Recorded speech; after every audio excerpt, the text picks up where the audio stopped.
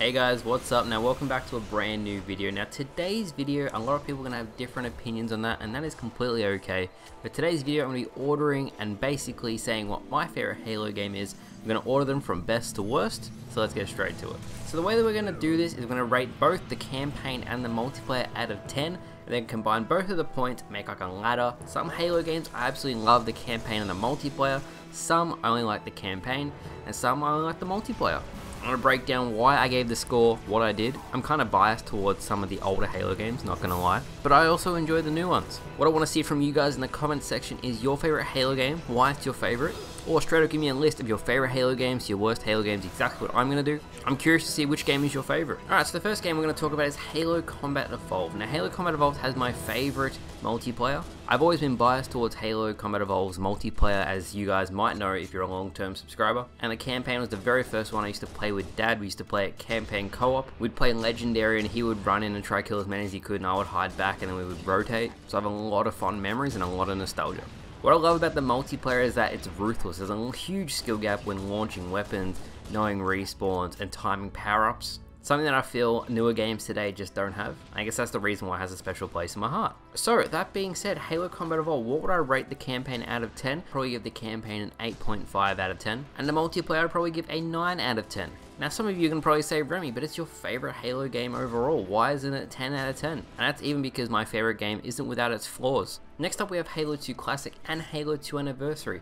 Halo 2 Classic and Halo 2 Anniversary are going to have two different entirely scores because the multiplayer is completely different, but the campaign score will be exactly the same.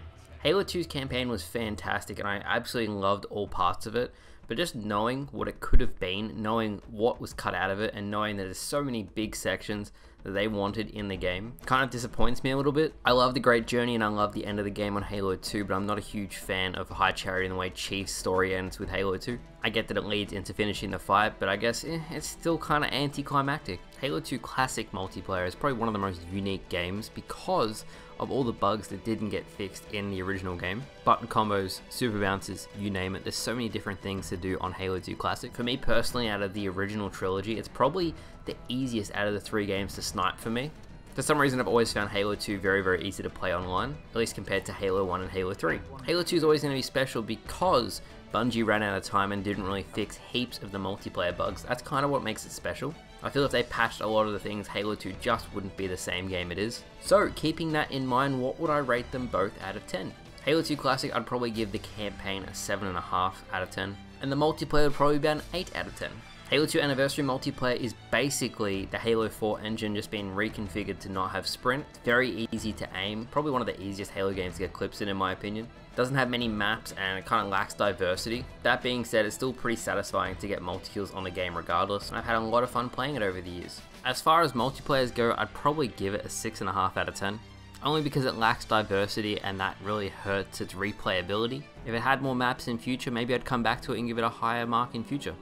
Next up we have Halo 3. Now Halo 3 is probably my favorite campaign out of the series. Something about it, I don't know why, always makes me come back to it and I genuinely love the campaign. Something about the elites and the humans teaming up in Halo 3 I really loved as a kid. And I still remember going to pick up Halo 3 with my dad, we went to the midnight launch, and just all around the memories I have from the multiplayer and the campaign are probably the strongest aside from the CE campaign. The only things I didn't really like about the Halo 3 campaign was Miranda's to war comment, and the fact that she actually sacrificed herself despite having a whole army beside her. That being said, for me personally, the campaign has a lot of, I guess, iconic moments like Arbiter stabbing Truth that I've always loved. The multiplayer is probably my second favourite behind Combat Evolved. It's very very satisfying to get a sniper clip in Halo 3. The other games feel a bit easy, and Halo Combat Evolved and Halo 3 have always been the hardest games to snipe in, at least in my opinion. For the campaign, I'd probably give Halo 3 an 8.5 out of 10. They're honestly so close between my two favorite games, it's so hard to pick them apart. That 0.5 is because of Miranda's uh, to war comment, and also the way she died was pretty schmeh. Now to give the multiplayer an 8.5 out of 10. It would probably be my favorite game if the battle rifle was, I guess, better than what it really is. For me being an Australian playing from 2007 to 2010, especially on the bad, bad connection back in those days and playing on about 15 FPS, because you played on lag, back in the day, you'd actually get almost 15 FPS of lag, and the game ran on 30 FPS, so you'd only be playing on about 15. It made it really, really hard to use the battle rifle. It really sucked. Even today, using the battle rifle on lag for Halo 3 is not great. Even the CE Magnum on Combat Evolved is pretty consistent compared to it. That being said, you can just lead your shots and it's not too bad, but there are times I'm really questioning the hit registration, like how did that not kill him? Next we have Halo Reach, and I know Halo Reach, a lot of people actually regard Reach as their favourite Halo game. Me personally, I really disliked Bloom, I really disliked Armor Lock, and the multiplayer, uh, I guess it was really grey. There was always Forge maps, and that was the big one for me. All the grey Forge maps, there's no real life in any of the maps. And when Halo Reach came out, the DLC maps weren't that great either.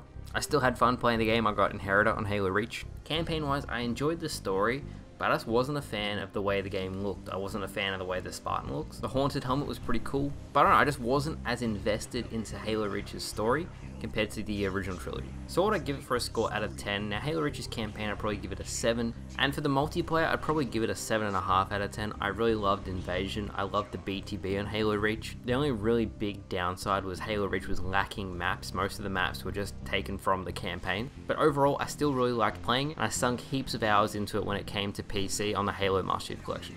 Next up, we're entering controversial territory. We're heading into Halo 4 and Halo 5 Guardians. Halo 4's campaign. Now, what can I say about that? I really loved Halo 4's story.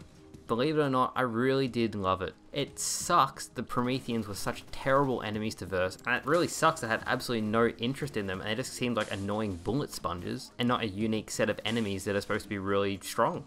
I really like the Didact, I love everything about his character. There's something about the gameplay of Halo 4's campaign and also the new Elite and the way the grunts look, I just wasn't a fan of that. Multiplayer wise, I didn't like the no descope mechanic, that really bugged me. BTB on Halo 4 was actually pretty good. It's probably what the whole game was created around, but it wasn't a very competitive game. There's a cool couple game modes that came out of it, like Ricochet, that was a really cool positive that came out of it. But again, the loadouts, I still remember the bolt shot, day one when the game came out. They basically had a pocket shotgun the bolt shot was basically a one-tap shotgun and it was absolutely overpowered and ridiculous and they had to patch it. I used to play free-for-all and we'd get King of the Hill and everyone would just be using a bolt shot the whole game. It's no surprise that the population dwindled very very quickly with Halo 4's multiplayer.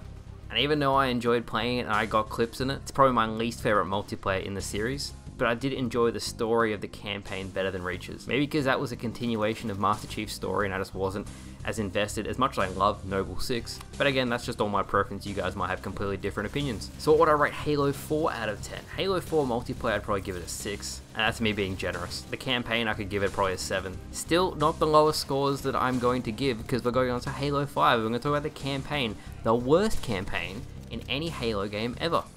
Now every other game on Halo I have completed Legendary, I've done LASO, Legendary, all skulls on.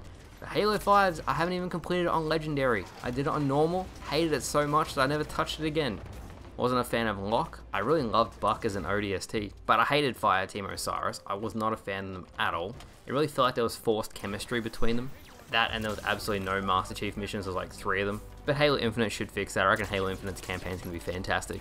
The only real positive I liked about Halo 5's campaign was Warden Eternal, and they butchered him to death because they made him appear 6-7 times, made him a repeating boss. I'm gonna straight up say I'll probably give Halo 5's campaign a 3 or a 4 out of 10. There was very little I can pick that I actually like about that campaign. On the flip side of that, we got Halo 5 multiplayer, and I actually really loved Halo 5's multiplayer. If you guys haven't seen my final Halo 5 montage and you're a new subscriber, there are so many unique things in the sandbox that you can do in multiplayer that make for some incredible plays that had never been in Halo before. Launching yourself off objects like tires or boxes, even a soda can, launching across the map because you squish the Spartan into certain things.